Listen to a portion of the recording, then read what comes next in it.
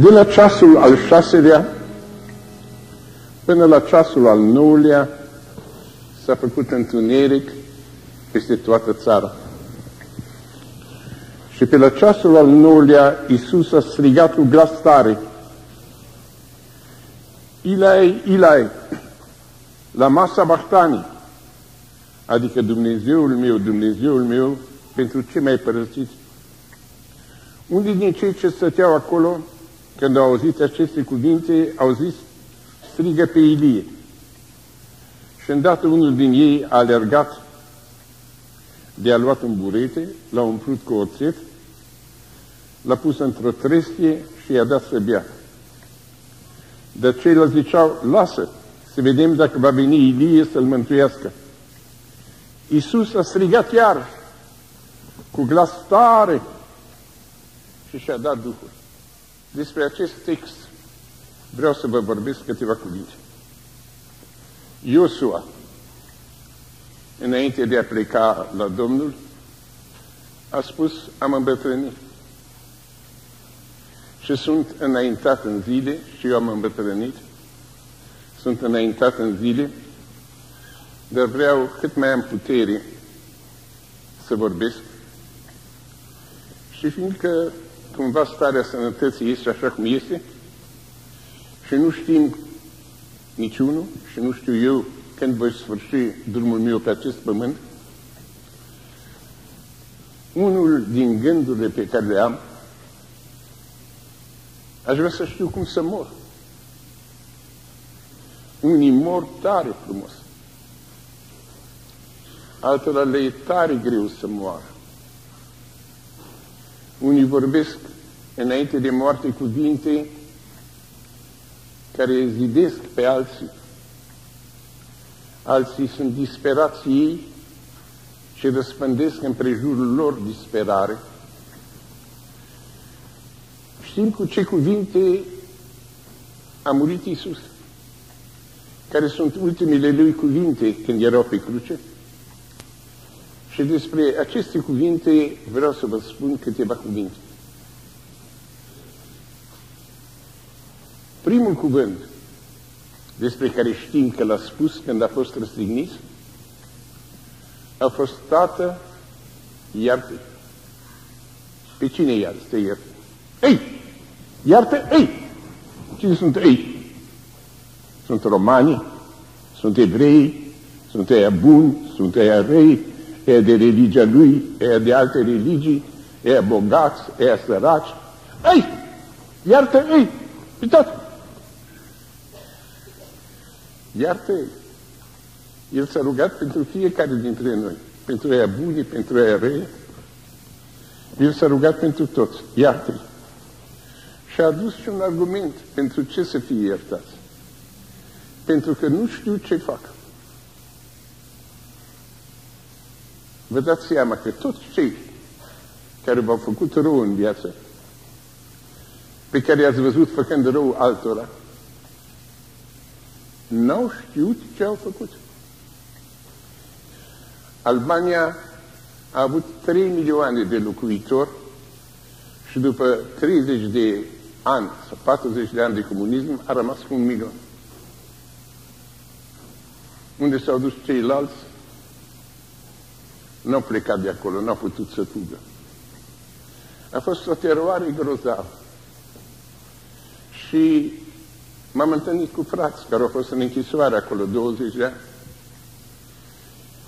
Și am vorbit acolo despre iubire și iertare.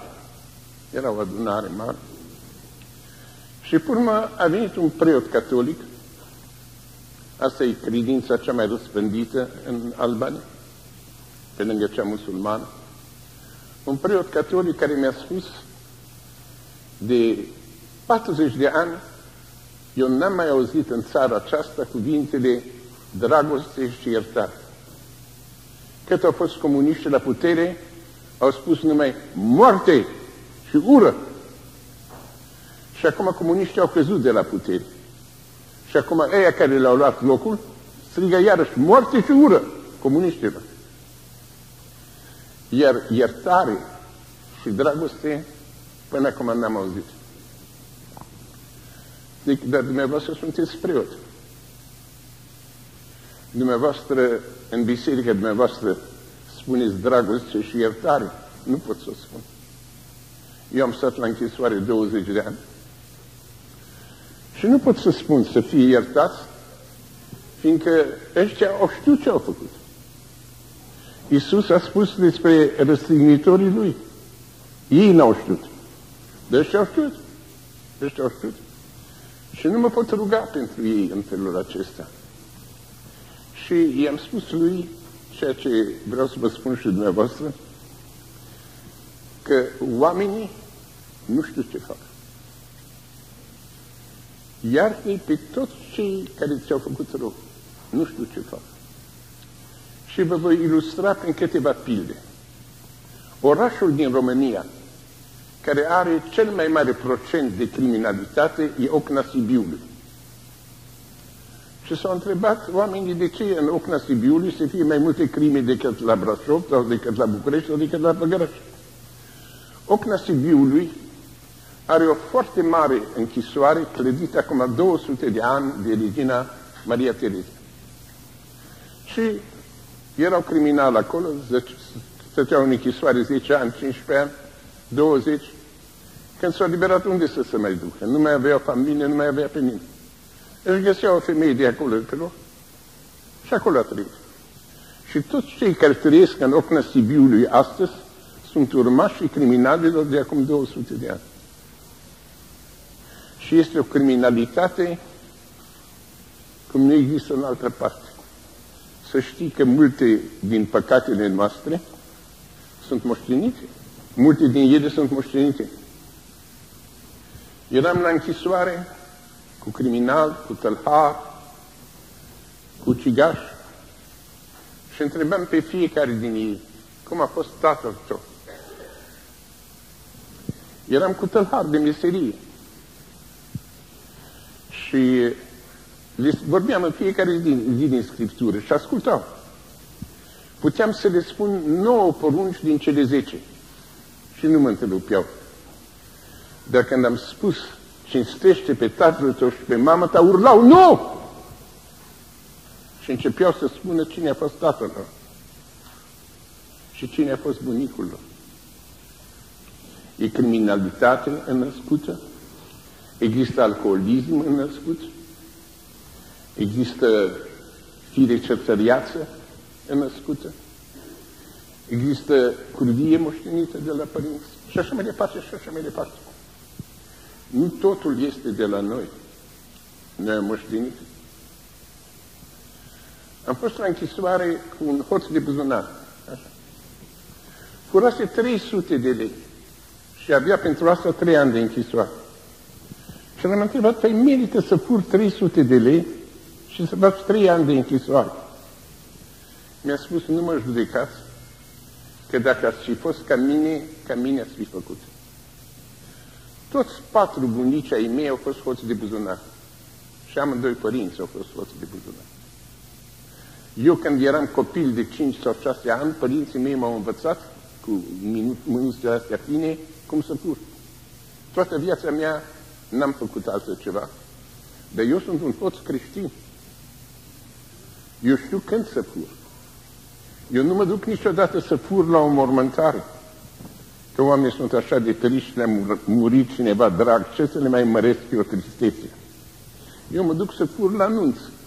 La orice nuntă să risipesc banii încolo și încoace. Dacă mai au și eu ceva, nu contează.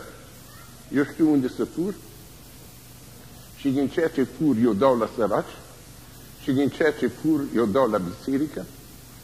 Și omul ăsta stătea ore în genunchi și să ruga lui Dumnezeu și atribuia păcatul lui la ceea ce a moștenit, că n-a fost nimeni cine să-l scoată din moștenirea aceasta.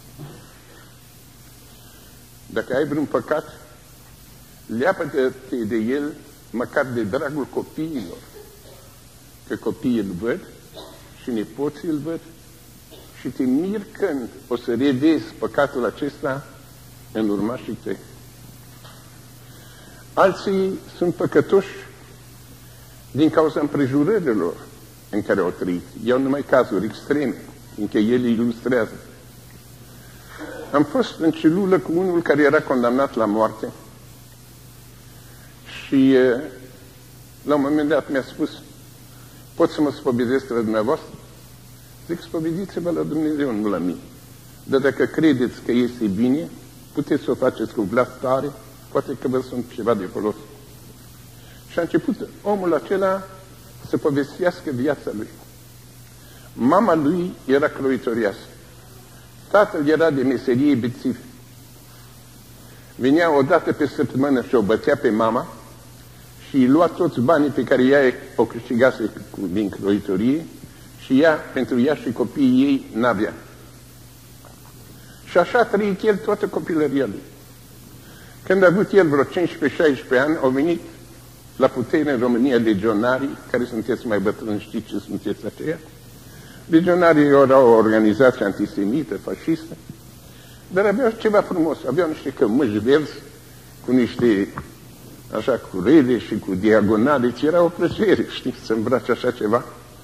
Și ce am vrut să fiu și eu legionar, să se uite o față ce la mine, să, să, să fiu și eu în cineva și s-a făcut legionar. Și am fost legionarie la putere vreo trei luni. După trei luni a venit Antonescu și a băgat la pușcărie pe legionar și l-a băgat și pe el, fiindcă a vrut și el să fie cineva și am îmbrăcat o cămașă verde.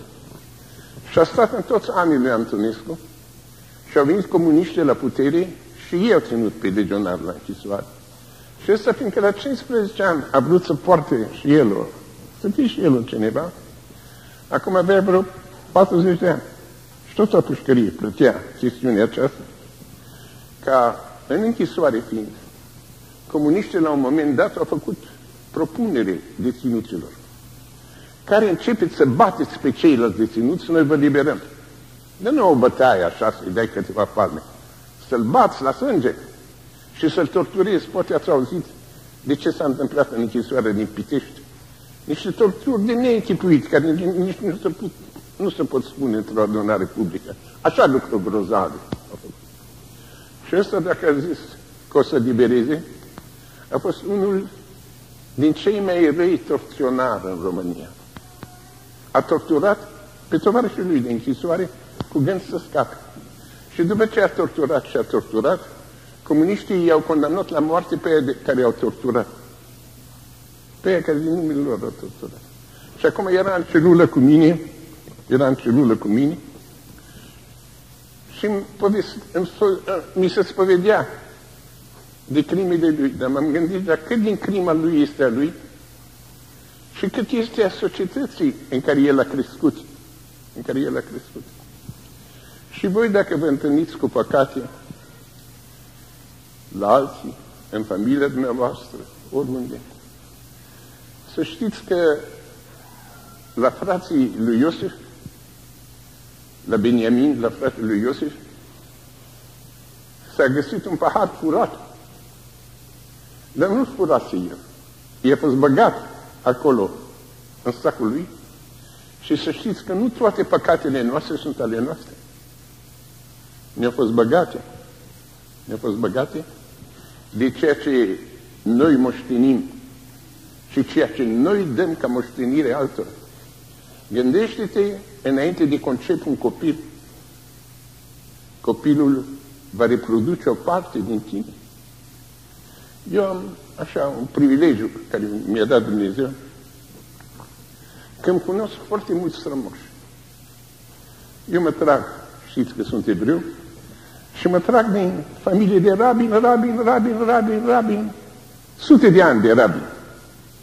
Și unii din ei erau rabini celebri care au scris cărți, s-a scris despre ei cărți și știu viețile lor. Asta din partea mamei. Din partea tatălui nu vă pot spune că o să vă fie greu să, să credeți cât de mult știu pe strămoșii mei din partea mamei, cunosc și pe ea din partea tatălui, cunosc și biografiile lor. S-au publicat o biografie de curând a uneia din strămoșii mei de acum, nu știu cât. Și găsesc în mine, citesc pe strămoșul meu, taman, taman, Cam ce eram eu îndemnat să fac din tineret. Noi dăm nu numai înfățișarea fizică la copiii noștri și la nepoții noștri, dar le comunicăm și păcatele noastre și eu zic, eu nu știu de ce el face așa. Păi nici el nu știe de ce face. Multe păcate sunt moștenite, iar altele se datorează unei educații greșite, ceea ce învățăm pe copii noi și ceea ce învață pe alții în școală. Și uh, aș putea să vă dau în privința aceasta multe pilde. Când eram eu în școală, exista ceva care acum în școală nu mai exista, exista bătaie. Făceai ceva, ziceai ceva, te bătea. Acum românul spune bătaie ruptă din rai. Dar nu orice bătaie ruptă din rai. Am făcut ceva rău în școală. Dar cu atâta ură, el de o tantă.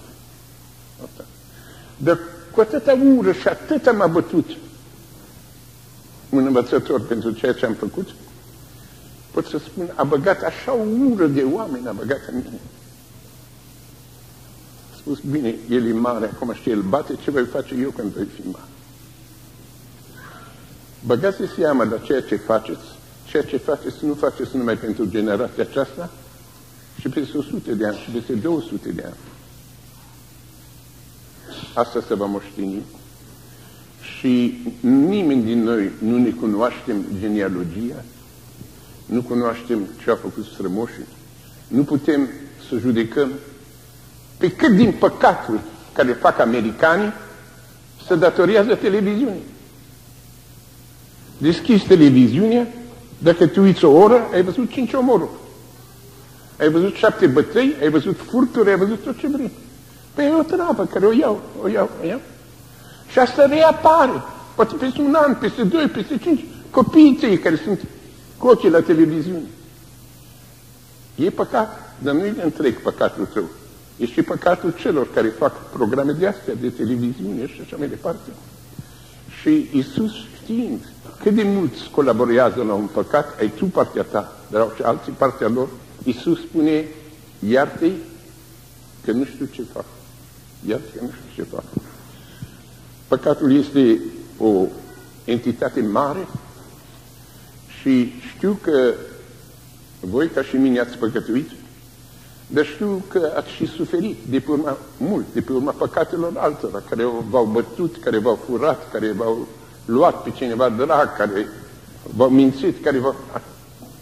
iartă că noi suntem o omenire care nu știm ce sânge rău este în noi, cât păcat am moștenit de la Adam și Eva, să mulțumim lui Dumnezeu pentru fiecare clipă când cineva face bine și merge pe drumul cel drept și să nu judecăm, ci să spunem ca Iisus, eu vreau când voi muri, mi-a făcut și mie oameni rău, și eu am făcut altor oameni rău. Când voi muri, gândul meu să fie, tată, iartă-i, toți! Am fost în închisoare comunistă, am fost în închisoare fascistă, m-au arestat și în America. O să vă mirați, și în America m-au arestat. Fiindcă am țipat prea tare împotriva comunismului. Nici aia nu aveam vrea. Există fel de fel și alte lucruri și alte lucruri în viață din inima noastră să scoatem orice resentiment pe care le avem față de cineva.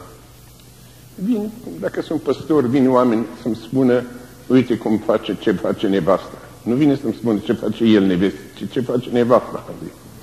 Și uite ce fac copiii, și uite ce face ăla, și uite ce face celălalt. Și vin fără să fie iertați. Înainte de orice, înainte de orice, întâi iartă. Înțelege că suntem o omenire mică, nepricepută și fiecare păcat, Iisus a spus, iar Eu din partea mea iartă. Nu numai pe Pilat, nu numai pe Caiafa, nu numai pe Iuda, nu numai, toți, iartă. Să avem atitudinea aceasta de iertare, îmi doresc, înainte de moarte, să am lucrul acesta dezăvârșit. Tată, iartă că și nu știu ce fac. Un al doilea cuvânt ne spune evanghelistul că erau răstigniți lângă el doi tălhari. De unde știa evanghelistul că ăștia sunt tălhari? Pe erau condamnați pentru tălhărie. Dar și Iisus era condamnat tot de un tribunal. Că ar fi făcut rele. Faptul că cineva e condamnat nu dovedește că a făcut rele. Există și oameni condamnați nevinovați. De ce nu numești tălhar? Iuda e numit de apostol vânzătorul, vânzătorul, ei spun vânzătorul, ești vânzător, a vândut pe 30 de ani. Iisus n-a spus niciodată cuvântul vânzător despre Iuda. A zis prietenul. Îl vede pe Iuda și ca și cum ar fi venit Ioan sau Matei sau nu știu care, el spune, un alt prieten, prieten, prieten. prieten. Noi nu categorisim pe oameni în tâlha și în vânzător și alții care nu au vândut. În primul rând este un om care are chipul și asemănarea lui Dumnezeu. Nu e nimeni tălhar, e fiecare om. Poate, la un moment dat, sub grea ispită, să facă o tălhărie. Dar un tălhar poate deveni și un sfânt. Deci el nu e un tălhar pentru toată viața. Să, să-i pun numele ăsta tălhar pentru totdeauna. A făcut o tălhărie. Dar poate să se întoarcă. Pavel fusese un om care ucisese pe creștin, dar a devenit un apostol. Și nu pot să scriu Pavel, prigonitorul creștin. Nu. Pavel e Pavel, care într-o anumită perioadă a vieții lui a fost un prigonitor, urma că a căpătat mai multă lumină, a devenit un apostol și a devenit un martir. Nu? Și să nu categorisim pe oameni în felul acesta, erau lângă el răstigniți doi care sunt numiți tălhari. Și unul din ei, unul din ei, îi spune lui Iisus, Doamne, adu-ți aminte de mine când vei veni tu în împărăția ta, o fi auzit el ceva despre Iisus, când vei veni în împărăția ta, eu dacă auzeam pe un tătar spunând lucrul ăsta, l-aș fi întrebat pe ăsta, ia-o mai încet, vrei să intri în împărăție foarte bine. Dar am auzit că ai făcut niște tălării. Câte tălării ai făcut?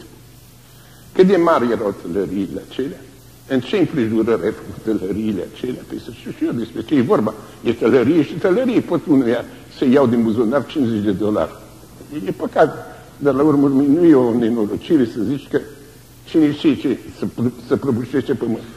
Poate să fi luat o avere, poate să fi dat foc unei case. Nu? Unul din lucrurile cele mai interesante, unele din lucrurile cele mai interesante din Biblie, e ceva ce nu scrie în Biblie. Nicăieri nu vei găsi în întreaga Biblie că Iisus ar fi întrebat pe vreun om, ia ascultă, ce păcate ai făcut? Când le-ai făcut? Cu cine le-ai făcut? În ce împrejurări le-ai făcut? Nu? nu știu care sunteți dintre ortodoxi, știți că dacă mergi la un preot ortodox să te spovedești, preotul ortodox îți spune întrebări. Nu poți să mergi la el să spui, vreau să am iertare lui Dumnezeu că am păcătuit. Ce întreabă? Cum ai păcătuit? Când ai păcătuit? Cu cine ai păcătuit? În ce fel ai păcătuit? Nu? Un doctor, dacă îi spui, uite, am venit la vreau să, că sunt bolnav. Deci întreabă, de unde te doare? Și preoții pun întrebări. Iisus n-a întrebat pe nimeni vreodată ce păcate ai făcut, când ai făcut, cu cine ai făcut. Spune, el spunea, iertate sunt păcate. Îi spune omului de lângă el, că era condamnat pentru tălărie. A spus și el la un cuvânt. Cine, cine n-a fi spus cuvântul ăsta, vede că moare, am auzit că ai o împărăție, toate poți ceva să, nu, nu să stau pe un tron în împărăție, dar să am și eu un sconel acolo. A, foarte bine, ai spus, splendid. Astăzi vei fi cu mine în rai, fără să intre în judecată. În câte judecăți intrăm cu nevestele noastre. Recunoaște nevasta că a greșit. Stai că ai greșit. De ce ai greșit? Și a câtea oară a făcut greșeala aceasta? De atâtea ori sub asta a fost pre, prea sărată și ți-am spus să ai grijă și n-ai avut grijă. Și de câte ori a dat laptele în foc Și de câte ori, câte am să-i spun și câte am de judecat, Iisus nimic. A zis un cuvânt, vei fi cu mine astăzi în rai. Dacă noi am fi stăpânii raiului, așa am deschide porțile raiului. Așa am deschide porțile raiului. Și mă rog lui Dumnezeu că noi muri, astfel să gândesc. Astfel să gândesc și astfel din partea mea să deschid porțile raiului pentru fiecare.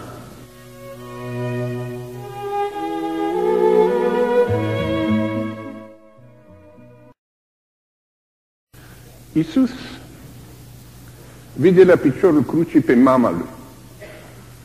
Vă închipuiți ce fel de fiu era el și ce fel de mamă sfântă a avut el și cât îl durea pe el să vadă pe mama plângând la piciorul crucii.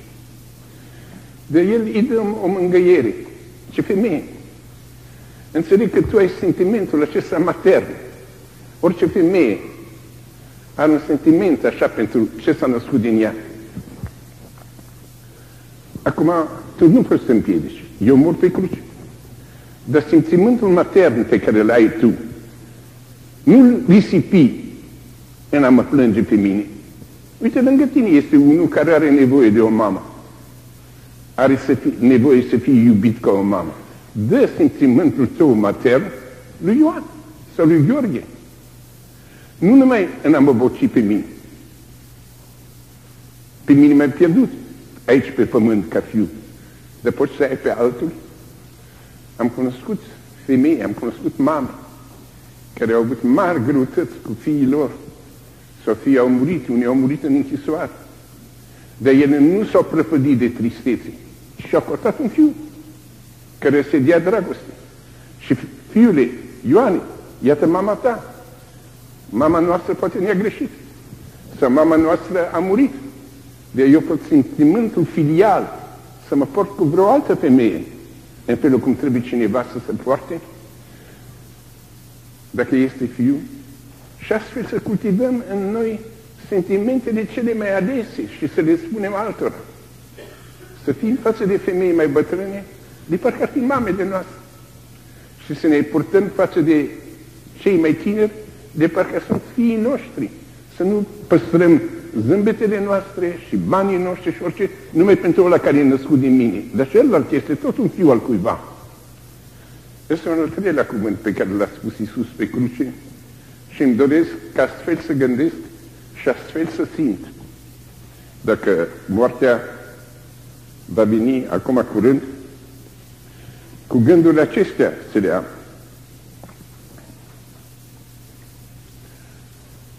El strigă după aceea, mi sete.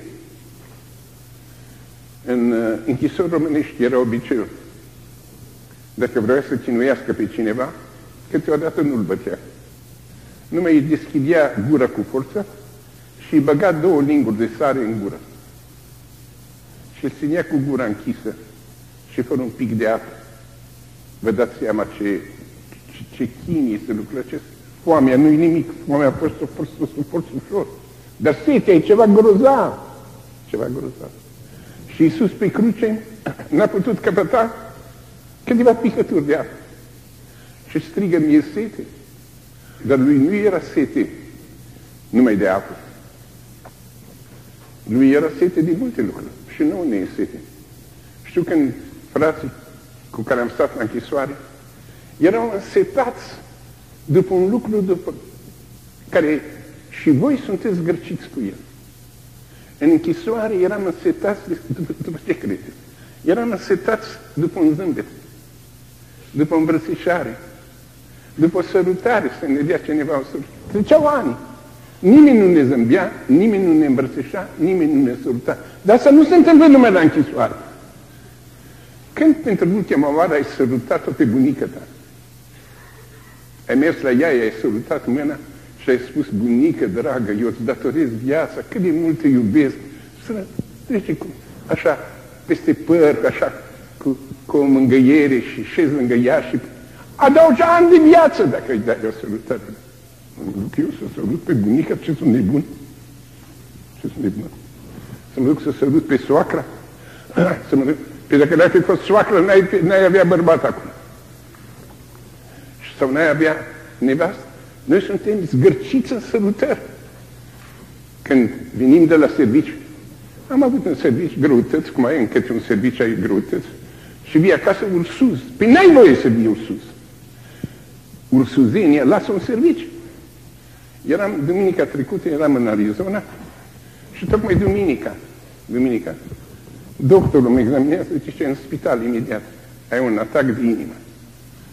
Zic, atacul de inimă, adevărat, ăsta aparține spitalului, dar eu aparțin bisericii și predicii. Așa că, dumneavoastră ești doctor, ia atacul meu de inimă, du la spital, ai mașină. Eu am altă treabă decât să mă duc cu atacul de inimă. Ai necazuri, ai necazuri, înțeleg și știi că știi de necazuri. Dar necazurile de-ai avut în serviciu. Nevasta are nevoie de un zâmbet al tău, de o sărutare a ta, de o mângâiere a ta. Mama are nevoie, copiii au nevoie de lucrul acesta. Cât de zgârciți suntem noi în astfel de sărutări și de îmbrățișări, ne-am dat seama când eram la închisoare. Era setea după lucrul acesta. Și uh, lui Isus era sete nu numai după apă, sigur că era sete după apă, dar toți urlau la el. L-au biciuit, țipa moarte, moarte. Dar unul să se spună un cuvânt bun, iubitule, să-i arate o dragoste, să zâmbească. Asta îi lipsea. Și doresc, când se apropie moarte, să-mi găsească un om care împlinesc setea oamenilor. Setea după apă, dacă sunt însetați de apă.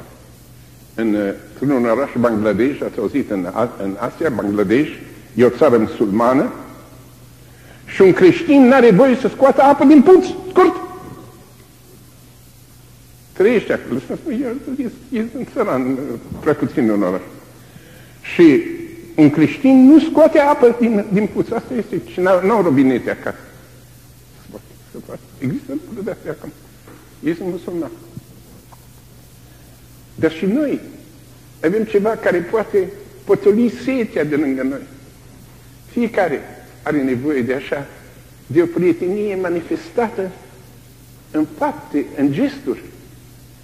Iisus, El însuși, mângăia copiii, îmbrățișa și să ne amintim de setea aceasta față de a celor care ne îmbrățișează și să fim în gesturile de fiecare zi împlinitor al acestei sete. După aceea strigă, s-a săvârșit. El sigur că vorbea ebraica. Și ebraica, cuvântul pentru s-a săvârșit, ca la, cuvântul care este scris în Biblie, în originalul Bibliei, e în grecește, și în grecește înseamnă s-a sfârșit. Dar ca la, în ebraică, înseamnă miriasă. Și noi nu știm dacă cuvântul lui a fost cel grecesc, ca la, sau cel ebraic, nu numai că s-a isprăvit, acum am avut atâția ani de chin, dar dacă nu era strigătul după mireasă, Iisus dorește după mireasa lui, după mireasa lui. După aceea spune un cuvânt foarte curios, care e redat în ebraică, Eli, Eli, la masa bahtani. Englezii fac din I, ai și ei citesc Ilai, Ilai, la masa bahtani. În ebraică este Eli, Eli, lama sabachthani, Dumnezeul meu, Dumnezeul meu, de ce mai părăsit? E grozav să te simți părăsit. Grozav. Grozav. Poate ați trecut unii prin asemenea perioadă când parcă vi se părea că Dumnezeu v-a părăsit. Și dacă ați vorbi ebraica, ați trebui să spuneți sabachthani mai părăsit. Dar dacă știi ebraica bine, ai ști ce ai spus. Cuvântul sabachtani în ebraică are două sensuri. De ce mai părăsit? Când ai spus la masa sabachtani, ai spus de ce mai părăsit? Și ai spus cât de mult mai înălțat. Același cuvânt. Limba ebraică, biblică, e o limbă foarte săracă. Foarte săracă. Nu aveau atâția cuvinte. Limba română are o sută de mii de cuvinte. ebraica din Biblie are 6500 de cuvinte. Și un cuvânt are foarte multe sensuri, foarte multe sensuri. El, într-adevăr, apărea pe cruce ca fiind părăsit de cer, fiind părăsit. De el știa, asta este pregătirea înălțării mele, tocmai faptul că eu sufăr pe cruce. Asta va fi podoaba mea pe care o voi putea da tuturor ucenicilor mei de a te lepăda de tine și de a fi gata să suferi pentru alții. E o înălțare în același timp. Și apoi mi se pare ultimul cuvânt despre care ne-am spus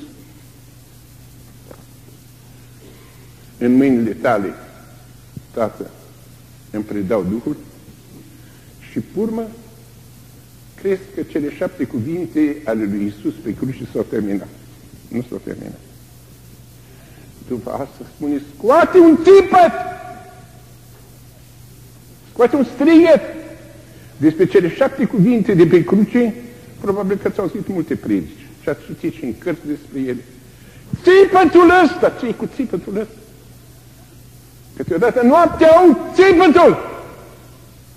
Eu sunt obișnuit cu țipite și nevastă mea care a fost și ea la închisoare a zis, știi și ea te țipite. Eram în celulă aici și auzeam noaptea cum bătea în celulele de alături. Auzeai loviturile de cauciuc cu cele de dea și auzea, aoleu, aoleu, mamă, mamă! Niciunul nu striga tată. Niciunul nu striga tată. În momentul acela strige mama. Mamă, mamă, nu sunt vinovat nu sunt vinovat, lăsați-mă, țipau ăia care erau torturați. Vă spun tot, țipau unii. Eu vreau să scoată, nu? Să spui, chiar și de la credincioși, să spui despre un frate al tău, sau despre păstorul tău, sau despre ăla, ceva să-l bagi în pușcărie și bei, și bătaie spun, spun tot, sau nu știu nimic, sau auzeai țipetele lor, de grozav, când urlete, erau urlete pe care le auzeai noaptea. Și spune, Iisus a scos un țipăt, un a strigat cu glas tare. A strigat cu glas tare. De ce a strigat el? De ce ne-a spus? Ce are? Ce, ce avea pe suflet? Luați-mă de pe cruce sau ce, mă rog, ce, ce i-a fi trecut prin cap? De ce în loc de toate acestea? Oh, de ce? De ce țipătul ăsta fără sens? Poate că deodată auziți și voi la voi în casă e nevastă foarte îndurerată, sau o mamă, sau un fiu, și nu poate să spună durerea în ah, ah, ah. Există lucrul ăsta. Țiputul ăsta are mare sens. Mare sens. Când omul nu mai poate să pună în cuvinte durerea pe care o are. Ați întâlnit voi lucrul de acesta. Să auzi pe cineva strigând? Nu trebuie să fii la închisoare pentru lucrul acesta. Și pentru ce o fi strigat Iisus? El urma să moară ca martir. Ca cel mai mare martir al istoriei trebuia să moară. Și el a fost în toate lucrurile ca și noi. Așa spune. În toate lucrurile a fost ca și noi. A fost făcut om. Eu am văzut martir murind lângă noi. Am văzut. Eu am, eu am văzut. Și unul după celălalt am văzut. Și am văzut că cea mai groaznică luptă o are martirul în ultimele minute înainte de a muri, când vede chiar moartea mine, sub bici, sau moartea de pe urma faptului că ai fost biciuit, îi vin așa niște gânduri de care e groază. Dar ce trebuie ții toate chestiunea aceasta? Nu sunt atâția creștini care nu merg la închisoare. Nu vorbesc la toți despre ei. Ca ține credința lor în inima lor, nu spune nimănui, nu are nimeni cu ei nimic. Ai fost un prost.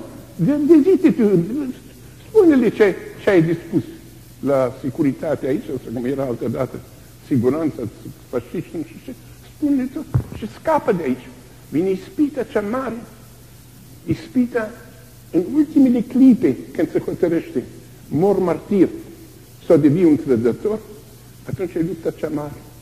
A fost în Rusia unul din cei mai renumiți predicatori sub comunism. A stat șapte ani la închisoare. A ieșit afară tot credincios și a predicat L-au arestat a doua oară și i-a spus, ne spui cu cine ai lucrat în biserică subterană, așa că tare. Nu spun. Ce bine te dăm într-o celulă cu criminal homosexual. Și l-au dus în celula aceea Într-un minut el a spus tot, toate secretele bisericii le-a spus el. A trădat în clipa aceea. Omul care a stătuse în pușcărie, dar asta era o groază prea mare. Este unul la numele cui se cunoaște numele lui. A fost 24 de ani în închisoare pentru credința lui. Și după 24 de ani a devenit un trădător care și-a vândut pe frate după 24 de ani. I-au spus, uite, să facem cu tare și cu tare. I-au spus chinul care o să-l facă. Și ah, chinul ăsta nu pot să-l sufăr. În ultimele momente vin asemenea ispite, dar mă lasă, mă lasă, mă lasă. Nu, nu, nu poți să răsori lumea. Nu, nu, nu să mai să trag despre credința mea. Nu să... Vin în ultimele clipe, vin acestea.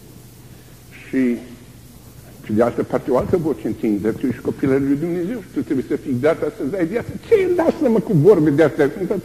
Cine știe, Biblia e scrisă în ebraică, alții în românește, cine știe dacă e așa. Și există argumente și contraargumente. Rațiunea. Luther spunea despre rațiune, bestia rațiune. Fel de fel, dacă vrea să te ispitească la un păcat diavolul, îți aduce un argument. Îți aduce un argument. E, parcă alții n-au mai făcut păcatul ăsta. Ce e? Și ce? Asta e omenesc, nu? Spune la orice păcat. Nu numai la trăda, da, securitate, dar la trăda pe soția ta sau pe soțul tău. A fi nevrednic față de părinții tăi sau... Totdeauna ți aduce un argument, îți aduce aia. Și vine țipătul acesta că nu vreau să mai gândesc nici la argumente, nici la contraargumente, eu am terminat cu rațiunea. Eu aparțin lui Dumnezeu. A, asta e. Am terminat. Nu mai mă încurc în vorbe, vorbele mint încolo și mint încoace. Eu aparțin lui Dumnezeu. Eu aparțin lui Dumnezeu. Asta e lupta cea mare, țipătul cel mare. Eu am văzut pe oameni trecând din lumea aceasta cu un asemenea țipăt. La unii a fost un țipăt de biruință și la alții a fost în Sibiu, că s-au predat în mâinile dușmanului. Am stat la închisoare cu un preot ortodox din București. și el a făcut și el cât a putut. Cu mijloace așa. A făcut și el câteva fițuici, să zice așa, câteva manifeste așa, în care spunea de Dumnezeu, de Hristos, de Maica Domnului și nu-i bun ateismul comuniștilor ce trebuie să avem pe Cât a putut și el a făcut și le-a răspândit. L-au prins să spună unde le-a răspândit, cu cine a făcut, ce a făcut, și n-a vrut să spună. Și a spus, lasă câte învățăminte. Am stat cu el în celul. Au arestat pe băiatul lui de 12 ani. L-au dezbrăcat pe băiatul lui și s-au pus cu băta pe el, dar nu o bătăiță cum de la un copil de O bătaie până la sânge în fața tatălui. Și a spus, dacă îl batem până moare, dacă tu nu ne spui tot. Copilul subici, un copil de 12 ani, subici, tată, nu-mi făcea rușinea să am ca părinte un Iuda. Tu nu te da, turme. Dar o să te omoare, spunea el. Dacă mă omoară, ultimul, lui, ultimul meu cuvânt va fi Domnul Hristos și patria mea și gata să mor pentru lucrul acesta. Până la urmă amândoi au supraviețuit. Dar grozav a suferit și mintea lor de pe urma lucrului acesta. Și ultimele clipe, înainte de martiraj, cum e la Iisus, au fost clipe de luptă internă. Că el s-a pus om, ca și mine. Dar un om care a biruit. Ah! Nu! Față de ispitele diavolului. Și asta nu numai când ești ispitit să devii trădător la securitate, ispita când pe, e nevastă mea bună și frumoasă, dar și asta e bună și frumoasă. Și, la urmă, atâta lume o face, de ce să nu o fac și eu? Și bărbatul ăsta treia. Și găsești argumente pentru. Sunt și argumente contra. Și lupta aceasta pe care o termină cu argumentele. Și pentru și contra. Știu de o mamă înțeleaptă care punea pe jos cărți de joc, sticle cu coniac, cu țuică, cu în fine ce a fost, pachete de țigări și punea pe copii să, să sară pe ele, să le calce în picioare și să spună nici când nu, nici când nu, nici când nu. La fiecare. Rațiunea, bestia asta de rațiune, ne aduce argumente și pro și contra și există țipătul. Iisus a spus șapte cuvinte și fiecare cuvânt e înțelept și poți... Dar până a fost un cuvânt, n-a fost un cuvânt fără de semn, numai un țipăt. Nu! Nu! Nu! La toate ispitele diavolului.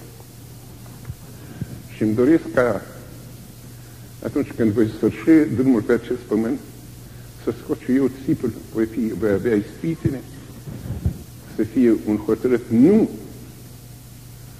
sau să fie un frumos aleluia, sau o sană lui Dumnezeu, din întreaga inimă să aparțin Lui.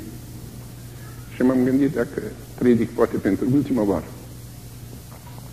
să vă țin predica aceasta cu totul neobișnuită, dar cam cum aș dori stare de spirit în care aș dori ca eu să mor. Asta e ceea ce am vrut să vă spun.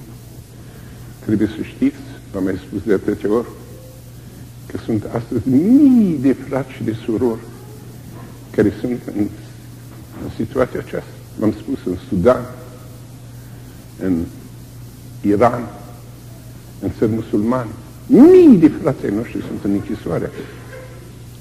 Și chinuiți, am citit ieri sau la ieri mi-a venit un, un, un, un de acolo, pe un episcop. L-au bătut cu 90 de lovituri de bici. Vă înseamnă, știți, vă dați seama ce înseamnă 90 de lovituri de bici. Dar pe câți alții au făcut asta? Și ei sunt toți din momente, fie de ispită de lucrurile de, de frumusețele acestei lumi, fie ispită de teroare acestei lumi, noi să avem în inima noastră un hotărât nu, nu și iarăși nu. Niciun fel de tocmeală cu ispitele. Să vedem, sunt și argumente pentru și argumente contra. Nu există argumente. Nu! Să ne dăruiască Dumnezeu o astfel de viață. Asta e ce am putut să vă spun astăzi. Și mă rog ca să fiți hotărâți deasupra rațiunii. Ceea ce spune dragostea aceasta fierbinte a unei mirese curate a lui Isus. Așa să fiți.